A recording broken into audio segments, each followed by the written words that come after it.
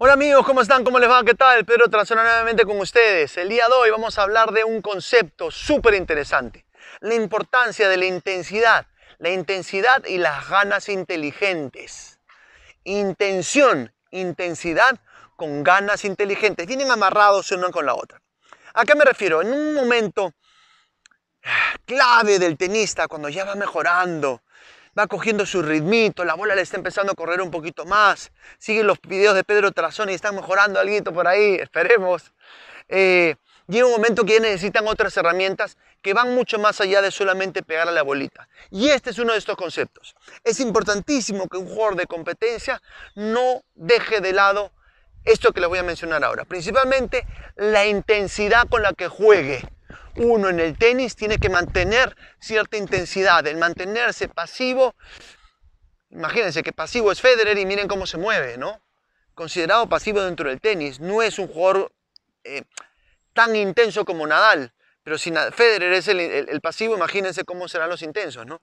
porque igual se mueve Federer, no pareciera que se moviera mucho, pero es súper, no lo ves llegar una bola complicada por lo bien que se mueve.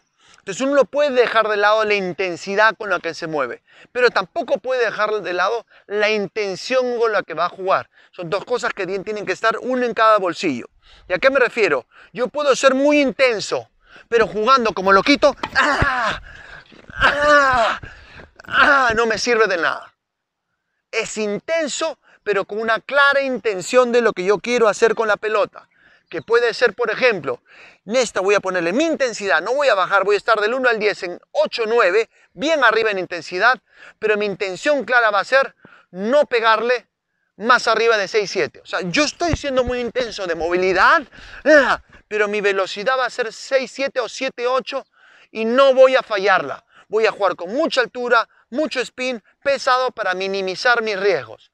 Entonces estoy siendo muy intenso y todo lo voy a jugar cruzado, ya para ser más específico. Voy a jugarle, voy cruzado, me corro de invertida, voy cruzado, voy para acá, vuelvo y cruzado, voy con altura, no fallo ninguna. Entonces mi intención clara en esta es que no voy a fallar, voy a jugar cruzado con mucha altura, mucho spin para minimizar mis riesgos.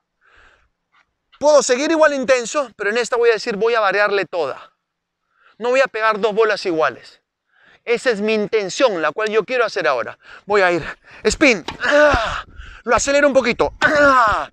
le hago un slice, ¡ah! le juego una bola alta. Mi intensidad no cambia, pero mi intención varía. La cosa es que yo tenga claro qué es lo que yo quiero hacer, no que me lo inventen a mitad del camino, ¿ok? Última intención como para que tengan clara. En esta yo voy a ir igual de intenso, no voy a bajar la intensidad, pero mi intención va a ser cogerla todas subiendo. No voy a pegarle tan fuerte, pero quiero coger todas cerca a la línea de fondo y con encima mi cuerpo hacia adelante. Te voy a cogerla en lo posible, tocar la línea de fondo o estar delante y meterme. Las dos cosas. Todas mis pelotas, o toco la línea o termino delante de la línea y mi cuerpo que vaya hacia adelante. Esa es mi intención en esta.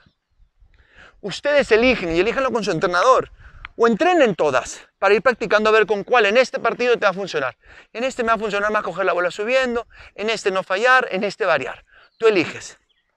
Pero ahora, esto viene muy de la mano con las ganas. Esto es muy para los juniors, que me pasa muy seguido.